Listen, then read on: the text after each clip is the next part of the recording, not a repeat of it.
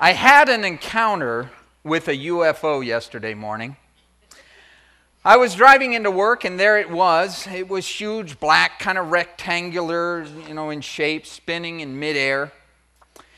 It kind of came out of nowhere and it headed right toward me. And, and this close encounter left my heart racing and it left some strange stripes on my car. It's parked out in the, in the parking lot there. You can see it afterwards. It actually blew the side mirror right off of the vehicle. I brought it here. I went back and, and picked it up just as proof of what had happened.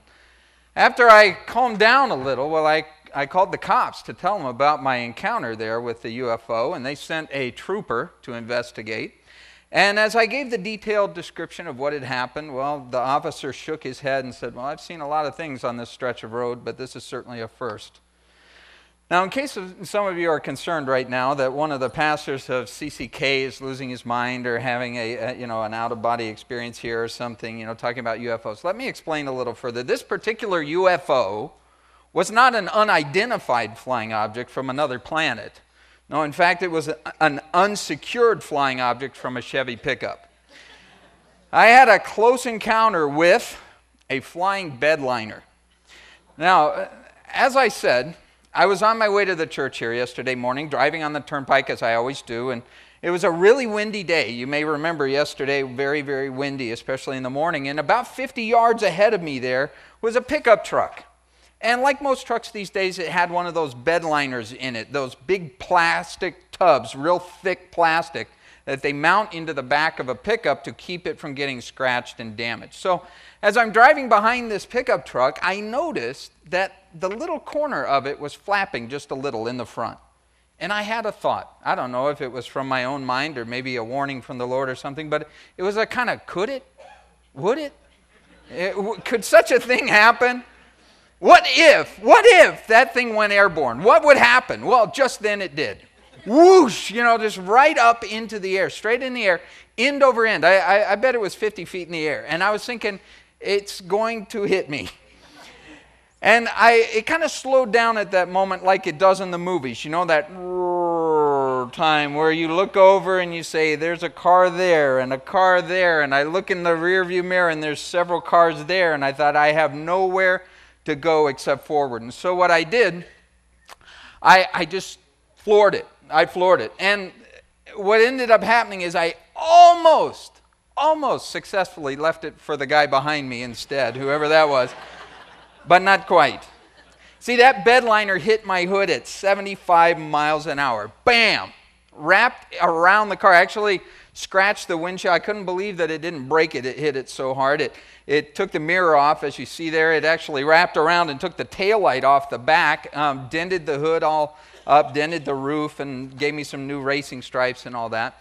And after that, I needed those racing stripes because I had to chase the truck down. It didn't slow down or stop. And so I caught up with them about a mile down the road, rolled down the window, and yelled at, Your bedliner hit me!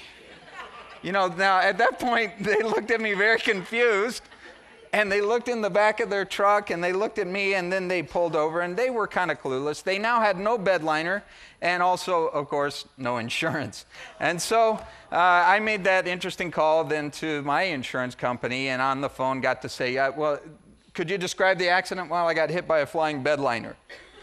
Did you just say bedliner? Yes, a bedliner. And so I got to go into that again. Now, I tell this story tonight because when something extraordinary happens in our life, something unusual, something sort of strange, we usually want to talk about it right away, right? We want to get on the phone with friends or even strangers and just tell them the story of what has happened.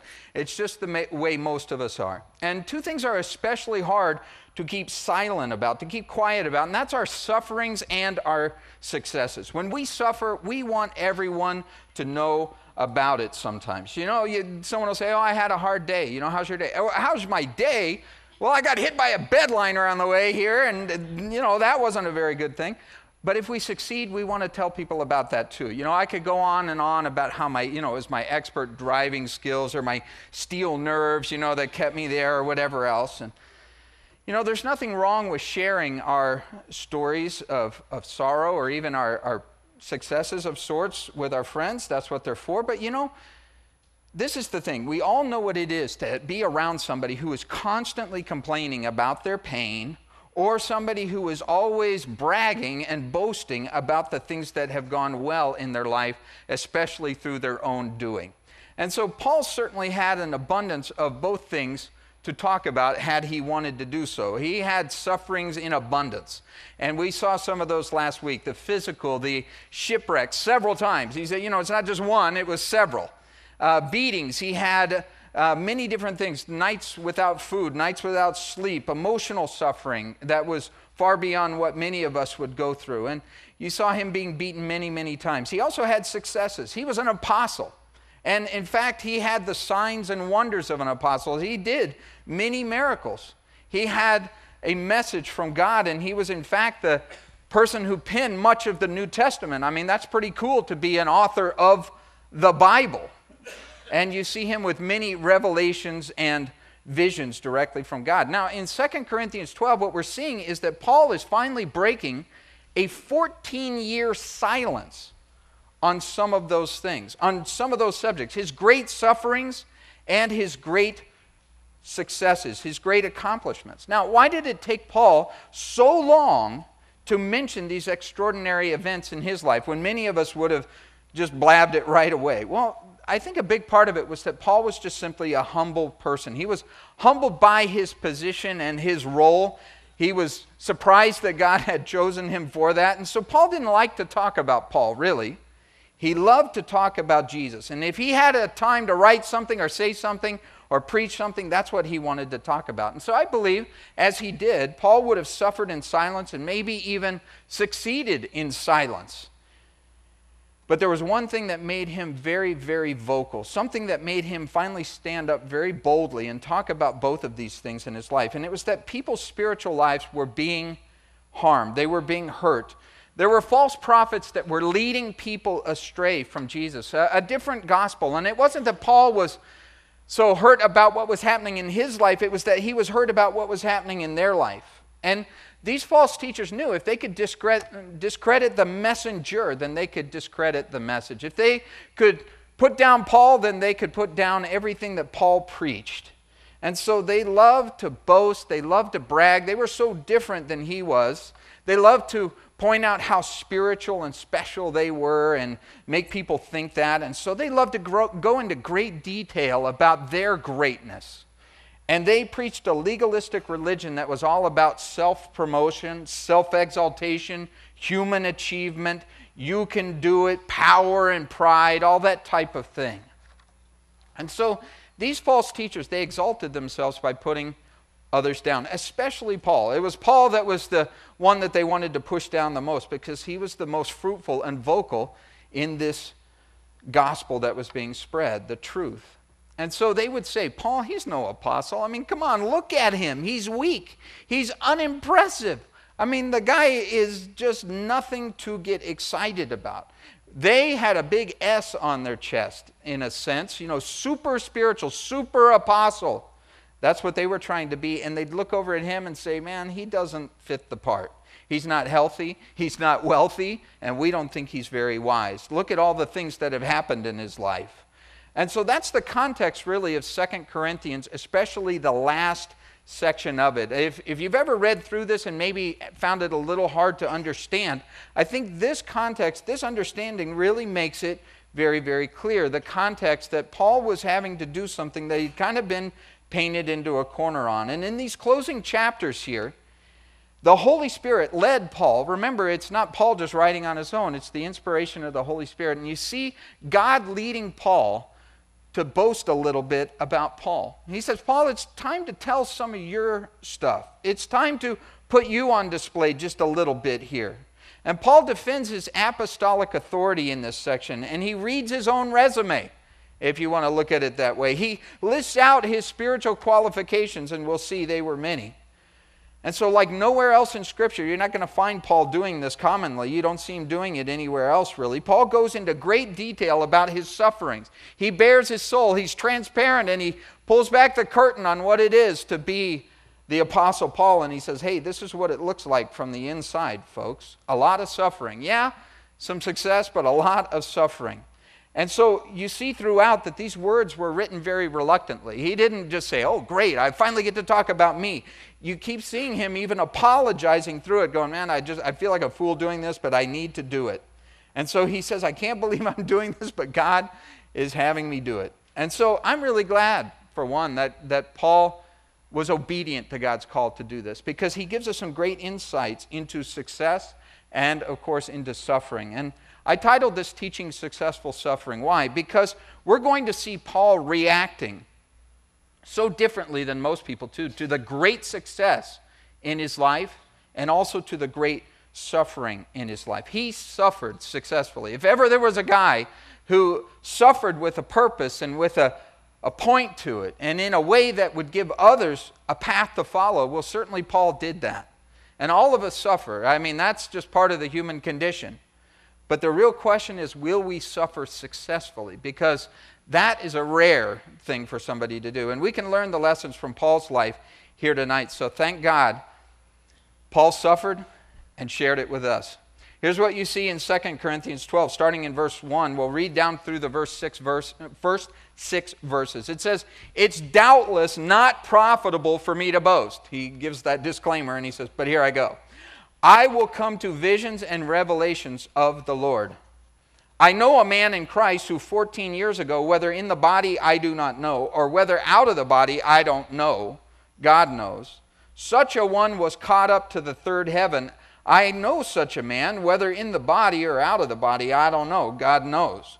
How he was caught up into paradise and he heard inexpressible words which it's not lawful for a man to utter. Of such a one I'll boast, yet of myself I will not boast, except in my infirmities. For though I might desire to boast, I will not be a fool, for I will speak the truth. But I refrain, lest anyone should think of me above what he sees me to be or hears directly from me. Now, again, stopping in those verses there, what you see is the first part of successful suffering. Well, you have to have some degree, I suppose, of some success, something that is going to be a encounter with God, and that's what Paul had, and he had a humility about him. And that's the first point I want to share with you is that if you want to be a successful sufferer, not just a sufferer, you have to stay humble about the holy. You have to stay humble about the holy. This is very true in Paul's life, but very rare in some other lives. It's common practice for false teachers or maybe some hypocritical people to give the impression that they have a special phone number for God that nobody else has. You know, kind of the unlisted number for God, that sort of thing. And so you see a lot of prophets for profit who have these kind of new and fresh revelations that nobody else has ever heard. And it's right off the press. You know, I got this one hot from God today. The other day I had a vision and, and God took me through the heavens and, and I actually saw things that aren't even in the Bible. And if you want to know these things, all you have to do is have a, a payment ready. You know, we take this and we take that and 12 monthly payments of $49.99 each, and I will send you my video that will give you my vision of heaven. You think about that stuff, and that's basically, in a low tech way, what was going on in Corinth. That's exactly what was happening. Preachers peddling personal experiences something supernatural, something super spiritual, rather than preaching and teaching the simple and clear Word of God. And so Paul uh, exposed their hypocrisy. He said, You know, that's not it. That's not the message. And so these guys, again, attacked the messenger. And they said, You know, Paul just has a case of sour grapes. That's it. He didn't have any revelations. He's not like us. He doesn't have the kind of super spirituality that we do. And so that's why he doesn't know any of this stuff. And so these first six verses, it shows us that Paul saw paradise personally. He had a preview of heaven. Now, some of you saying, no, it's not talking about Paul. It's talking about some guy out there that Paul knows, a man in Christ, a friend of Paul's. Now, it's actually, you're not, you don't want to get lost here because what he's saying is he's using the third person. He's saying, I know a man in Christ. It's actually Paul, is who he's talking about but using that humble way of saying, hey, I, will I'll talk about a guy in Christ, but I ain't going to talk directly about Paul. And Paul's doing whatever he can to divert the attention away from himself and make sure he's just a guy in Christ. That's all I'm saying. And he uses the word, verse 2, caught up. Caught up, that he was caught up. This is for those of you who like to take notes, a great cross reference to this is 1 Thessalonians 4 17, which says that we who are alive and remain when the Lord comes back will be caught up to be with him. So it's like Paul here had a one man mini rapture. And at the end of verse 2 there, he talks about the third heavens. And again, just because this can be a little bit of an obscure passage, I want to kind of make sure that we're all on the same page with it. What is that? What are the third heavens? What's he talking about? Well, the Jews would describe it this way the first heavens, well, that's what you see during the day, right? During the day, you see the blue sky and all the rest of that. And then you see the second heavens at night. What is that? That's the place of the planets and the stars and far beyond what you would see during the day. But then the third heavens for them was the invisible dwelling place of God, the eternal dwelling place of God. So that's what he's saying. I was caught up into the place of eternity, the presence, the very presence of God. Now, he even says here, I love it because he says, whether this was out of the body or in the body, I really don't know. God knows that. It's impossible for me to comment on it, Paul says. I don't know. And I love it again because that's just more of Paul's humility. Here's Paul saying, Look, I'm pretty humble when it comes to the holy, pretty humbled by the holy because he says, Look, there's stuff I don't know. I know I had this experience, I don't know exactly what it was all about.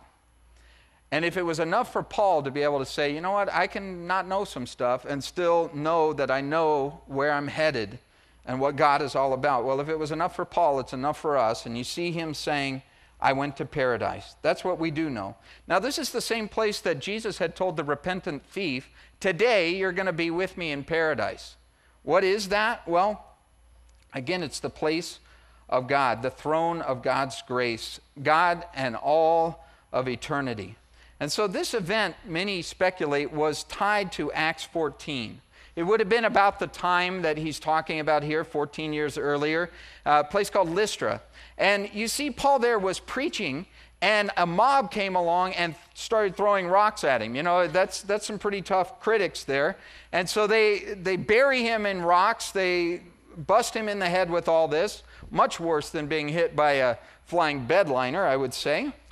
And so a little while later, it says they left him for dead, that he was just stoned to death there, and that he got back up and then went back into the city and finished his sermon. It's kind of like he said, Wait, um, I had one more point. There were actually three points, and you guys only let me get to point number two. Now, what would make a guy like that. I mean, what would make a guy that passionate about it? Well, maybe it is that during that little intermission in between points two and three, that he had a vision there of heaven, that he saw and heard what was coming for him, eternity.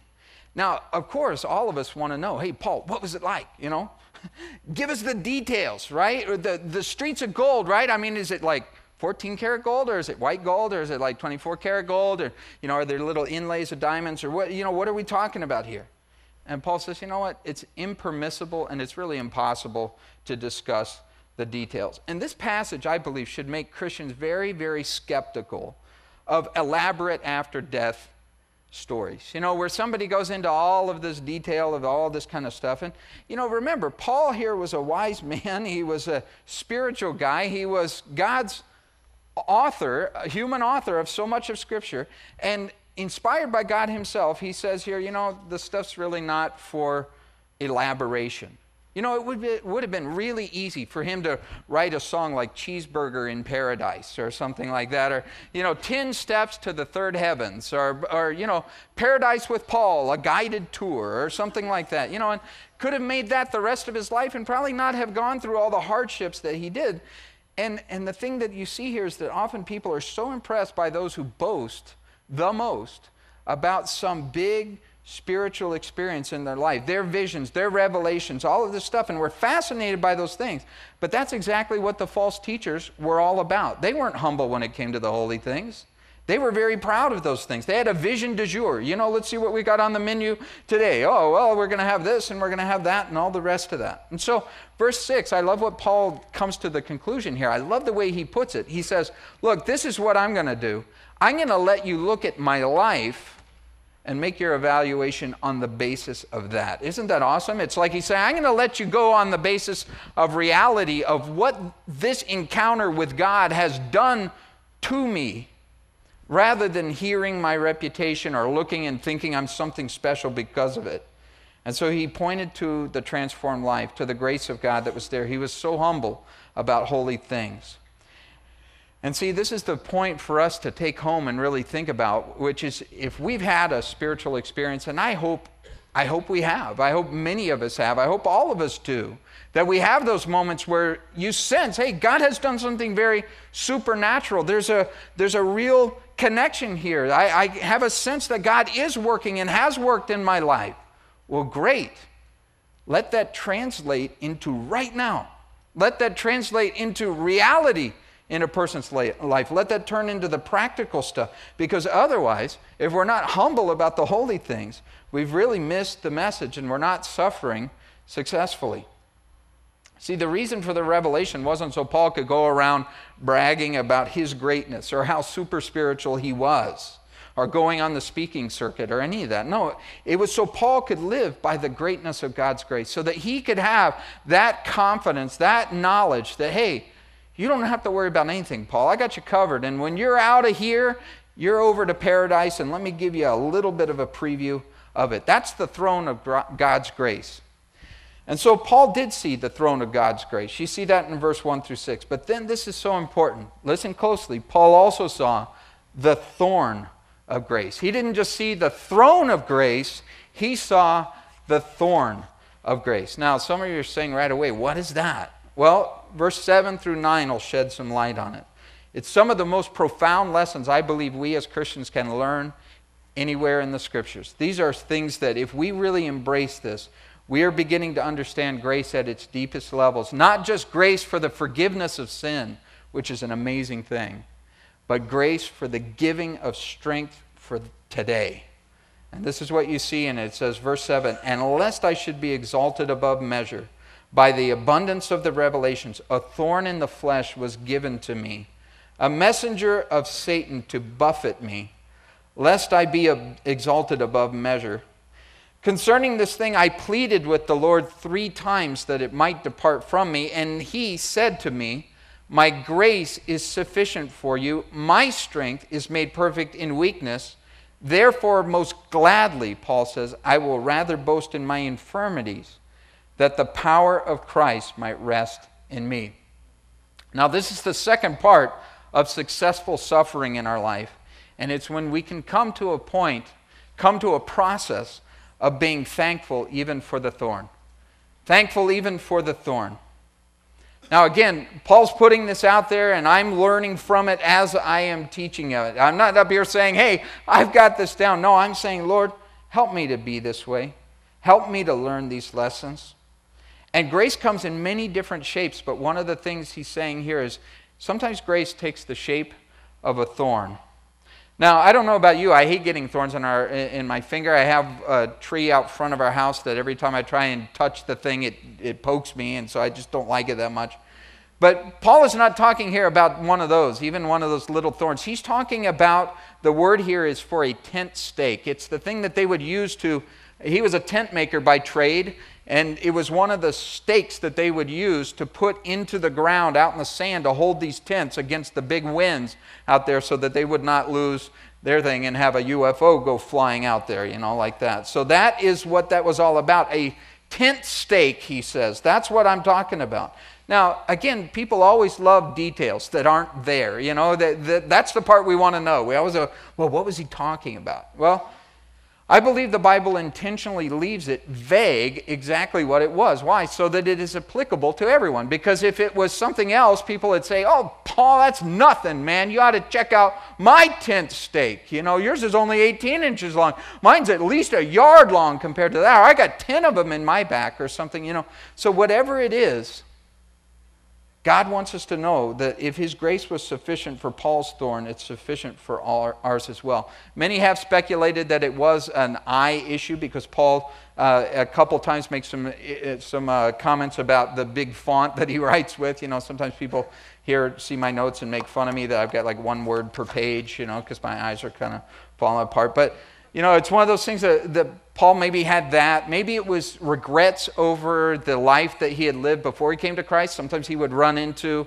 maybe widows or orphans from people that he had wrecked their life before he had come to Christ.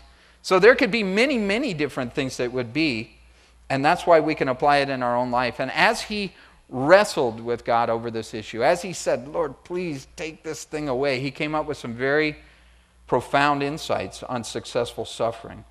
The first word I want to call to your attention is there in verse 7. It says, It was given to me. Now, given is a word that we use for gifts. You know, oh, thanks a lot, you know, and, and many of us would say, Who gave it to him? Well, there's an implication here that Paul understood that it was given by God, but tried to be used by Satan. See, in the same verse, he says this thorn was a messenger from Satan there to buffet me.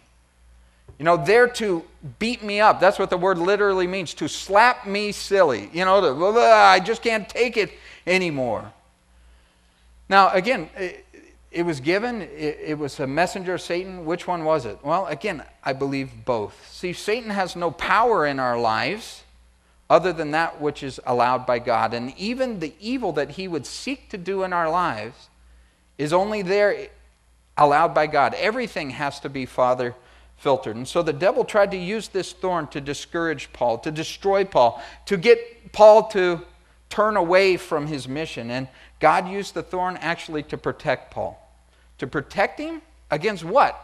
What could have been worse than whatever this was? Well, look in verse 7, twice it says, Lest I become overexalted. What's he saying there? He's saying something worse than this pain would be the pride. See, God allowed some great suffering to go on in Paul's life to allow him to go on with great success without being puffed up in pride. He was a guy who, who, who, said, you know what? If you're going to see the throne of grace and you're going to really preach that and live that, you're also going to have to see the thorn of grace. You're going to have to have both of those in your life. And again, that would bring a purpose to his pain, to pop his pride. You know, to say, it, it's such a, a negative thing that however painful that might be, Paul, it's not as painful as what would come out of pride in your life. Pride comes before a fall, the Bible says. And so you see in there, God will do almost anything go to any length to keep us in a place where He can bless us in humility. And some people, you know, wonder why so much suffering in the world? Why does God allow that? Well, you see at least a little insight into it. Sometimes we suffer just because we live in a fallen world. There's just a fall, and, you know, all of us are going to suffer from that. Now, also, there can be a more personal element to it, and I'm sure you could make a mental catalog of these where you have suffered for your own sin. If you're honest, you just look at it and say, Yep, that one was mine. You know, I did that and I paid the price for it, and that's the way it was. But sometimes, sometimes, this is where we really see an insight here that maybe we wouldn't get anywhere else than God's Word. That can come as a gift from God as a protection against pride. I heard a story about a coach that uh, he was a college coach, and his team had had a great season, and they just played a great season-ending game, you know, and all the rest of this, set some records and all the rest. And he was at his home, and he was shaving there in the bathroom after this, and his wife called up to the uh, room, "Honey, Sports Illustrated is on the phone." And he felt like this rush of pride, you know, Sports Illustrated? Man, finally! I'm going to get some recognition, the recognition I've worked for and deserved, you know? They probably want to do a cover story on me or something, you know? So he kind of takes the towel, he runs down the stairs, and on the way, he stumbles over one of the steps. He's in such a hurry, you know, bangs his shoulder up and everything, but makes it to the phone out of breath. He says, Hello? And he hears a recorded voice. And if you'll order now, you can get Sports Illustrated at an amazing 70% off our regular cover price. And so often again in our life, you know, we just, ah, pride will puff you up, and there comes the fall. And there comes the disappointment. There was a direct connection here between Paul's great success in his life and his need for some great suffering. Paul even understood that, came to understand it. He didn't understand it right away, but there was a process through which he understood these things. And God gave him a view of the throne of grace, and he also gave him a view of the thorn of grace. And everyone has a thorn. Everyone in this room has a thorn. You know, and, and one of the things about it is that, again, it can take many different shapes. Maybe it's something physical, maybe it's something emotional, maybe it's something in somebody else's life that you love, because sometimes watching somebody else in pain is harder than being in your own pain in some ways. Maybe it's just one of these things that you say, man, I pleaded with the Lord and pleaded with the Lord for this to change. Maybe, maybe it's regrets over the life that you had before you came to Christ. Maybe there's some things that are still messed up that maybe you're forgiven by God, but you look at it and say, I just don't know how that thing's ever going to get fixed. It's just a big disaster. And some thorns are only known by the people who have them. You know, maybe they don't share those things or can't even really articulate it, but there's just that sense of something that you say, you know, there's this pain that just won't go away, that I have asked the Lord to deal with. And you see those visible thorns? Yeah, sometimes those are the easier ones. But Paul had one that in some way was obvious. Some way people could look on at it and say, God must not love that guy. I mean, look at that. And he would hear that. That's the buffeting voice of Satan, the lie that says, you know, if you were really okay with God, that wouldn't be going on in your life. You know, God is punishing you, God is not happy with you, God is you know, just left you or abandoned you or whatever else. There's no other explanation for that kind of unanswered prayer. And see, Paul's accusers, his false brethren there, people who were trying to tear him down, they took advantage of that to point to him and say, Look how weak he is. And Paul said, You know what? I came to realize I can say thanks for the thorn. Now, thinking about some things real clearly here, uh, it's very important to talk through these things because uh, we do pastoral care here. We talk with people who are hurting a lot, and I'm amazed how many people have a misunderstanding of God's word and God's ways in these things. First of all, it's not wrong to pray for suffering to be taken away. I mean, Paul wasn't saying, man, I love it. This is awesome. You know, let me keep this. No, you see, right away he said, the normal, natural human thing to do is to want to get away from pain. God even made us that way. He gave us pain and avoidance of pain as a very natural thing. And so there's nothing at all unfaithful about praying for healing or help in times of spiritual or emotional or physical suffering. We're called to do that, and there's no problem at all with that. But this is the thing when God says no to a healing, and sometimes He does, it doesn't mean He's not going to help. It just means that that grace is going to take a little different shape than maybe we had hoped. But it can take an even greater shape. And this chapter blows out anyone who teaches falsely that God never wants us to suffer sickness, that He never has that as part of His plan for a person's life. It makes me mad when I see the fallout of that false teaching because the truth sets people free. And that teaching has a very dark side the health and wealth thing. I read an article very recent. I, I, just saw it and it broke my heart. This was the title to it. It said, Parents Prayed While Daughter Died.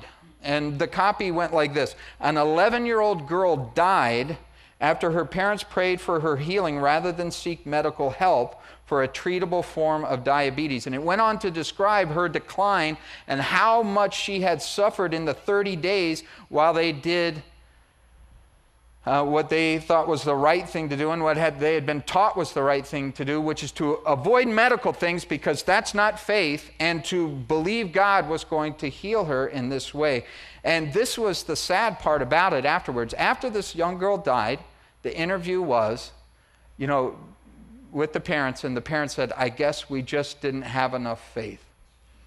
Now, if there's anyone in this room who has ever believed that or ever taught that, please check your scriptures and Stop. You know, Pedro, Pastor Pedro, the other day said something brilliant. He said, if you ever come across something in the Bible you don't agree with, you need to change your position.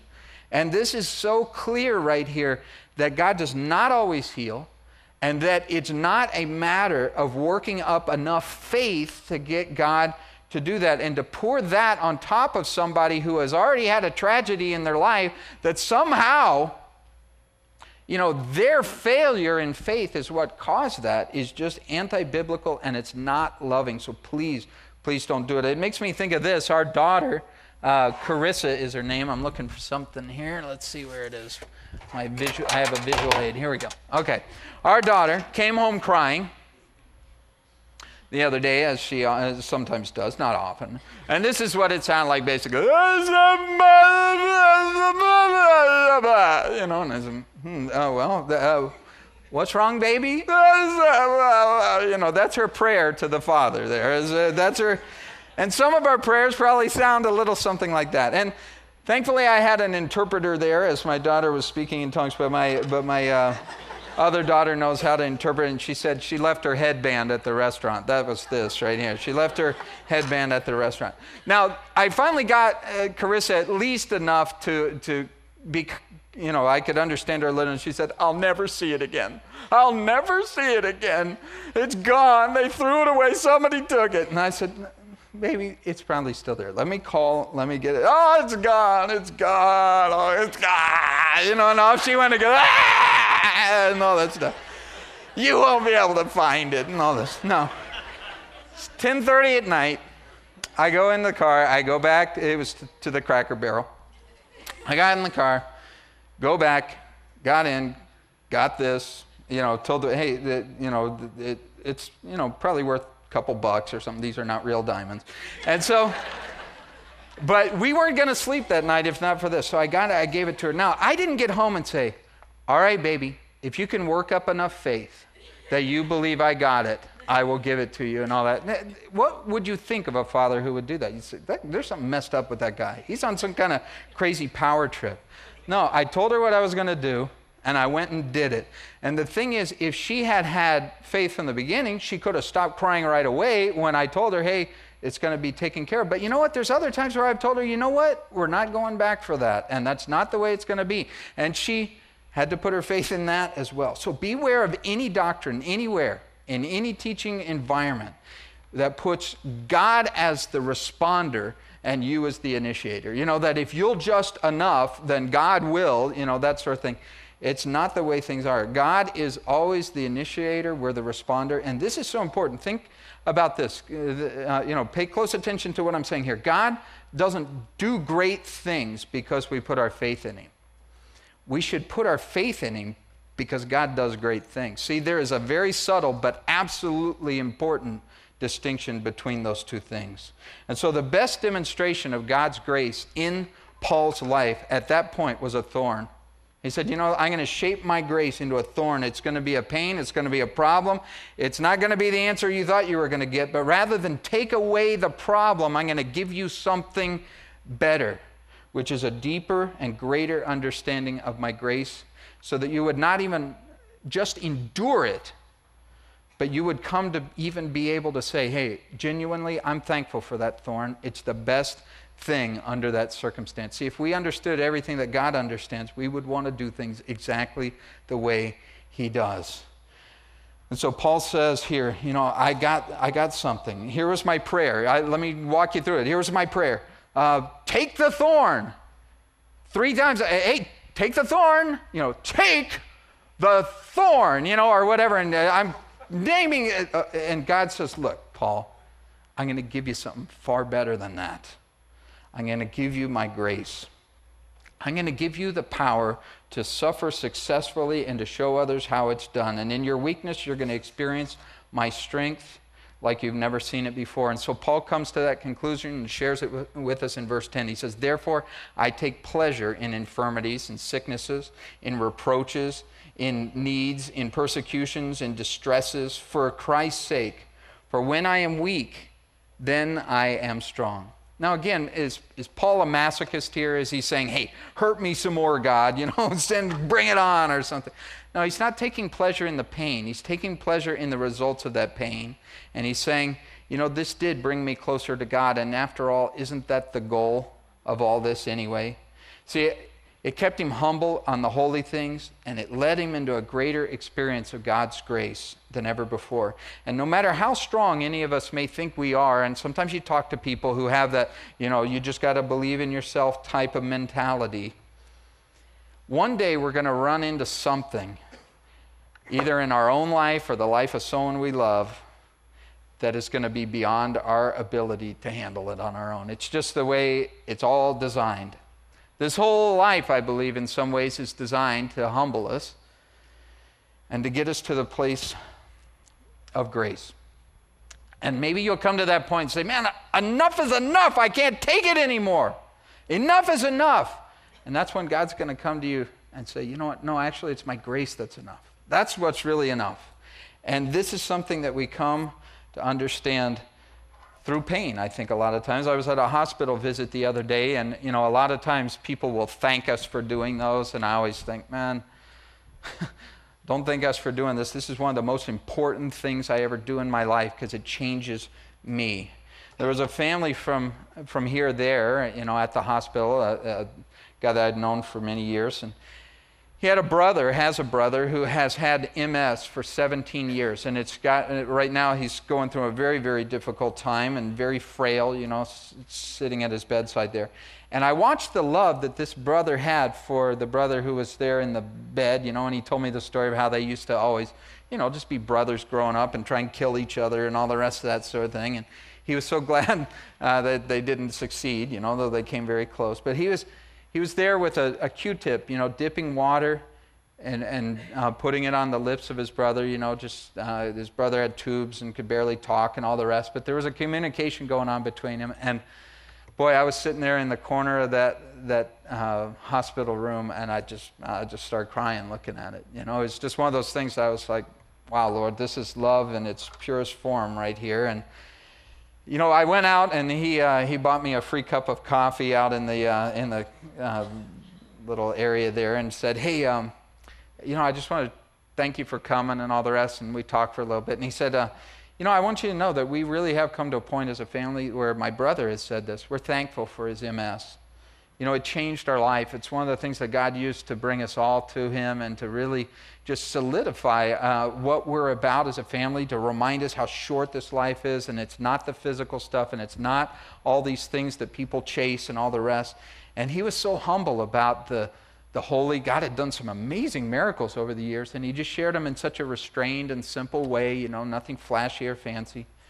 And as I walked away from that, I was like, Lord, whew, you know, that's just what we're talking about here. And sadly, one of the things he said in that conversation is over the years, he, they've had many, many different people, maybe me, well meaning people, but misinformed, come to him and tell him, you know, if you have enough faith, God will heal your brother. You just got to believe it. You're not praying right. You're not doing this. You're not, you know, all the rest of that. And you say, wait a minute. See, again, uh, that's just the thing to remember is this the reality is it takes much more faith to thank God for a thorn than to thank Him for taking it out.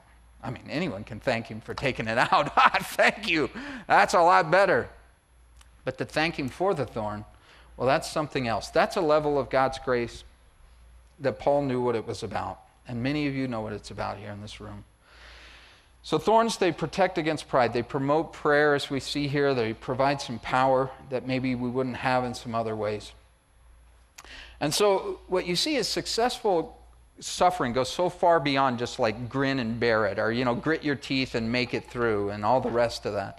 It's really when you find that there's a greater strength in weakness that when you come to say man when i am at the end where i stop that's where god really really starts in such a strong way. And i got a picture of this principle here in my life just this week um, I see him sitting over here in the in the front row. Here, his name's Isara. Uh, some of you know him, Izzy. Uh, I'll embarrass him tonight. Uh, I'll embarrass him because he's been putting a hurt on me lately. Now he's he's one of these guys who looks like he got his glorified body already. You know what I'm talking about?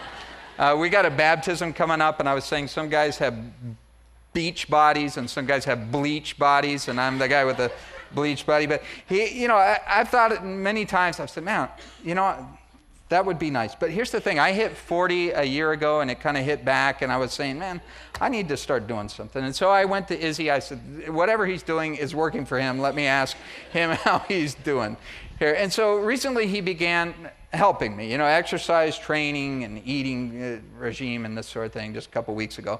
And uh, I like to, you know, do different plays on his name and everything. So, you know, the, the kids were saying something. I said, well, I don't know. Is he helping me or is he hurting me? I don't know. Is he, is he, is he not? The other day, somebody came in and brought me cake, you know. They said, hey, do you want some cake into the office? And I said, Izzy will find out. I don't want it, you know. so it, it's just one of the, he'll make me do more push-ups. And, and so, and sit-ups and stuff. So the other day I, I was doing some push-ups with him, and you know, he, and I couldn't do any more. You know, I got to three or something, and I just that was it. You know, that was my limit. I got to that wobble that you get, you know, where you're like, uh, and then all that sort of thing. And there's Izzy, you know, just such uh, such a picture of the Holy Spirit in our life. You know, don't give up, man. Don't give it. You can, you got it. You know, and, and I'm going, uh, is he crazy? You know, I, I'm not going to be able to do it. And so I'm fading. I'm fading. My eyes are closed, and I'm praying and everything. And all of a sudden, I had like super strength. I'm going like this, you know. And that's when I realized that Izzy had put a uh, strap underneath my chest and was lifting me like this, spotting me helping me finish the last few, you know? And right there, I was like, this is the kind of workout I like. But, but see, it's when I'm weak. Well, Izzy was strong on my behalf. And that's what God is saying in so many ways. He's just saying that that's where you're going to find out. When you're at what you can't do and you're at that wobble where you're like, I'm just on my way down, the Lord said, Well, that's when you're going to find what I can do in your life. And the last section of this chapter, it's kind of interesting. We'll read down through it. It's some sacred sarcasm, you know? It's, it's Paul kind of saying some things in some ironic ways, some strong ways. He's saying, I really didn't want to do this, guys, but you made me. It's, it's almost like he's putting them on a little bit of a godly guilt trip here. And the thing is, there's nothing wrong with a guilt trip in a way if you're guilty. you know, it, sometimes that's a trip we need to take so that we can take that grace trip to find out what it is to repent and change and go back the other way. And so the Corinthians were certainly guilty of many things, as we'll see in here. And the first one you see in verse 11, it says, I've become a fool in boasting. You know, Paul's again apologizing. Look, this isn't my normal way of doing things. I know that. But he says, You compelled me, for I ought to have been commended by you.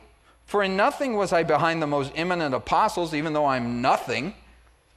And truly, the signs of an apostle were accomplished among you with all perseverance and signs and wonders and mighty deeds. For in what, in which, let's see, for what is it in which you were inferior to other churches, except that I myself was not burdensome to you? Forgive me this wrong. He's saying, you know, the, the uh, fake apostles who were just in ministry for the money, they were always taking collections, and they said, look, He's not even a real apostle. He doesn't take a collection when he's there. I mean, what a strange thing to get him against, but they, yeah, he doesn't, you know? He's saying, sorry, next time maybe I will, you know? Verse 14, now for the third time I'm ready to come to you, and I won't be burdensome to you, for I don't seek yours, but you. I don't want your goods, I want you. And he says, for the children ought not to lay up for the parents, but the parents for the children. Now, this is one of those memory verses you never want your kids to find, so don't put it in the, you know, have them memorize other ones. Honor your parents or something like that, you know. But ver- he's talking specifically by analogy here, saying, I'm like your parent. I'm not asking for stuff from you, I'm, I want stuff for you. And he says, verse 15, I'll be very gladly spent and spend for your souls. Though the more abundantly I love you, the less I am loved. Now, think about what he is saying right there. Again, some successful suffering. The last thing I think it looks is that it looks like Christ. It looks like the love of Christ. Successful suffering is when you're willing to love like Christ. And one of the most painful things that can happen to anyone in life is to love and have it not returned. To have it actually returned in a bad way when you're trying to do good for somebody and something bad comes in return from them. And he says, Man, I would gladly pour myself out for you guys, but the more loving I am toward you, the more you reject it. And you think about that, you say, Man, Paul, think, about what that must have felt like for him. But I believe, again, the scriptures are always trying to get us to see not the heart of Paul, but the heart of God. See, because along come these false prophets and they take advantage of the people and they're like head over heels for them, mesmerized by them. The false, oh man, I'm so in love with that. And then Paul's over here speaking the truth in love, living the truth in love, and they say, yeah, we don't like that. That's nothing, that's not that exciting. And any parent has, who's either had a toddler or a teenager or anything in between has certainly heard the words, I hate you, or you hate me. You know, that, yeah, that, that's why I clothe you and take you to school and do all these things. It's because I hate you. That's why I do these things, you know. That's why I drive to the Cracker Barrel at 10:30 at night for a stinking plastic headband because I hate you, you know. But it's such a strange part of human nature, and I believe it's just the sin nature. That if somebody's proud and arrogant and, you know, all full of themselves, so often in our society, we worship them. We look at them and say, wow, they're so special. I want their autograph. You know, the other day we were at a sporting event and there's, you know, people sweating and they put the towel and they throw it down. People are diving on it, you know, trying to get to their sweaty towel. That has never happened at our house, you know? My wife, who works so hard for the kids and shows so much love for them, you know, she's uh, sweating and puts on a towel, the kids don't go, I want your autograph. Well, I, they take for granted the one who loves them the most and the one who couldn't give them the time of day. Well, they want to buy all their stuff on eBay.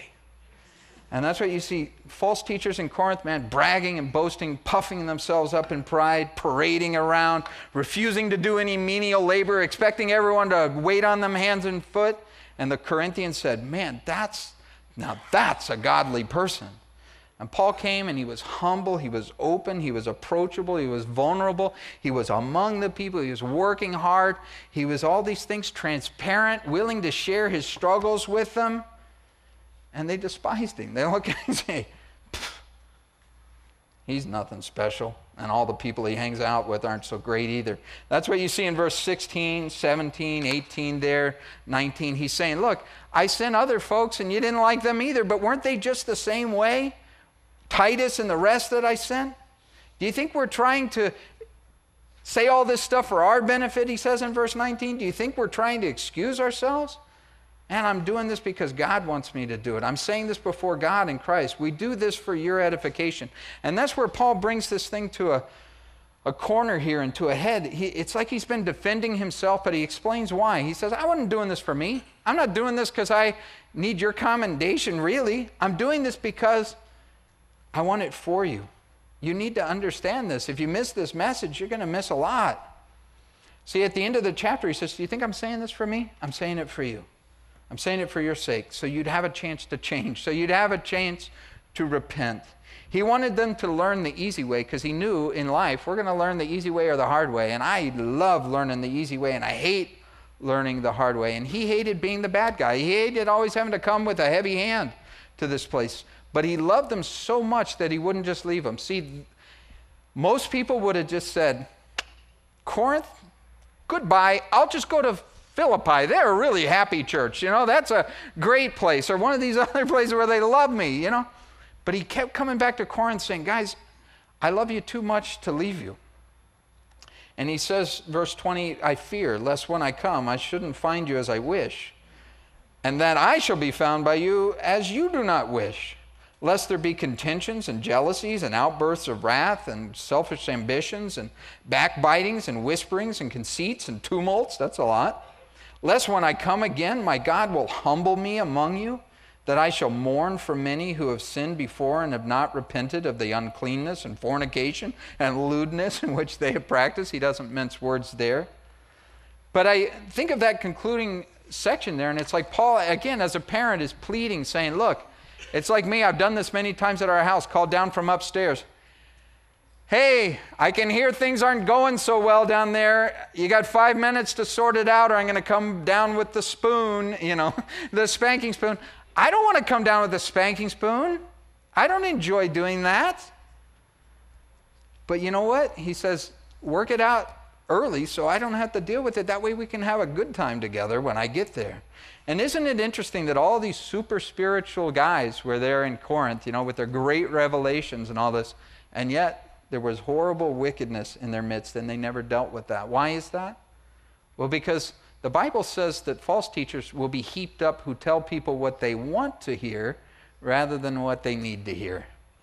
And so Paul loved them like Jesus, and Jesus was a guy who didn't just tell people what they wanted to hear, he told them what they needed to hear. He told them the truth in love, and he told them, hey, in this world, you're going to have trouble. You know, there's going to be suffering, and some of the pain, some of the thorns will not be removed this side of paradise. And Paul's message was the message of Christ. And that's not always a popular message, not always a thing to win a popularity contest or whatever. And so he had a heavenly vision that drove him to love like Christ, to live like Christ. And he had an earthly thorn that kept him humble. He needed that because to have the heart of Christ, you have to have the humility of Christ, and most of us don't come by that real naturally. You know, sometimes God has to do a work of grace shaped like a thorn to keep us in that place where He can really use us like that. And Paul had seen that perfection of paradise. It, he knew it was where he was headed, but he knew it wasn't where everybody was headed. And he saw the reality of earth all around him. He saw it very clearly. He saw that it was a sin soaked, sin sick place. And he saw a lot of suffering. But he knew that there was something that was so much worse than just physical suffering, and that is sin. He said, You know what? I'd rather have a physical thorn my whole life than the sin of pride. And when you really think about it, pride is the source of all sin. It's the thing that says, Hey, I can be apart from God, I can be independent of God. I don't need God, I can do this on my own. That's what pride is all about. And that's what Jesus came to cure, which is sin. He didn't just come to cure physical sickness, although he did that in mercy many times. But he came really to underline those miracles into a message, which is hey, I came for the big healing, which is healing from sin. That's what he came to cure, and he's the only one who has the cure for it. God's grace made Paul able to love like that, even the unlovable. And it's just another example for us, so many in scriptures, of the love of God which is really what this is all about. That's what Paul pointed to. That's what Paul would want to point to. And that's where I leave it tonight. That while we were yet sinners, the Bible says, Christ died for us.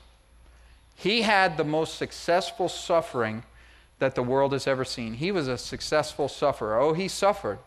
Let me read this for you. I think it's a very powerful passage, and I want the Word of God just to minister to all of us as we think on these set of verses. Isaiah 53. I'm just going to read it for you.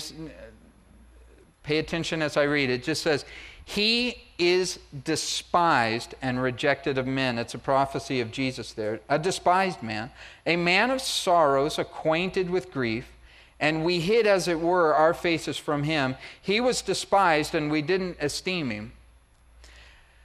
Surely he has borne our griefs and carried our sorrows, yet we esteemed him stricken, smitten by God, and afflicted. But he was wounded for our transgressions, he was bruised for our iniquities. The chastisement of our peace was upon him, and by his stripes we are healed. And it says, We all, like sheep, have gone astray. We've turned every one to his own way, and the Lord has laid on him the iniquity of us all. See, that was the suffering there at the cross, and it was successful.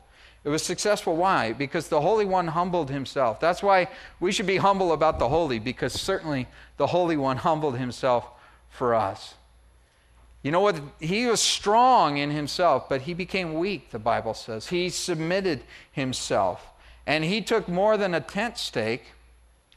You know, you see him with the thorns, uh, the crown of thorns on his head. You see the nails in his hands and feet. You see the sword in his side. Why did he do all that? Why did he do all that? Well, to love the unlovable, to give grace to the one who didn't deserve it. Maybe you've heard the acronym for grace God's riches at Christ's expense. And so that's what you see sufficient grace, sufficient to uh, save us, and sufficient for the rest of our lives that we would have a relationship with Him. I'm going to ask the musicians to come back out and close us in a song, but what we're going to do is just do what we do here each week, which is give a simple and clear opportunity for you to commit your life to Christ. You may say, you know, I listen to those things and I say, man, I've suffered in my life, but I don't understand the things that you've talked about tonight fully. Well, you don't have to fully understand them to understand this that it's not our suffering that's going to get us to paradise. It's the suffering of Christ that's going to get us to paradise. That's what Paul said. That it is the life that Jesus lived, the grace that he gives that's found in him, that is going to be the way to get there. None of us are strong enough to get there on our own. We all, like sheep, have gone astray. And so, if there's anybody here in this room who knows that they don't have that grace, that they don't have that relationship with Christ, we're going to bow our heads, we're going to pray, we're going to close out. But I'm just going to give you an opportunity at the end of that prayer to raise your hand. And if that's you here tonight that you know you need that, just be thinking about and asking God the, the, for the strength, for the grace, for the humility to acknowledge your need. Father, we thank you for your love. We thank you for your grace in every shape that it comes. And Lord, we thank you that you took the thorns and you took the sin. Lord, you took the penalty for our lives, but you want to give us a power to live this life in such a way that even when we suffer, it's with a great success. It's with a different approach and a different understanding than anyone else can have. And Lord, we thank you that you haven't promised us an easy life as Christians, but a life that would certainly be worth it. And I pray for anyone here today who has never committed themselves to you, Lord, that we as uh, people would be humble enough to say, Lord, I need you, and to acknowledge that need here tonight.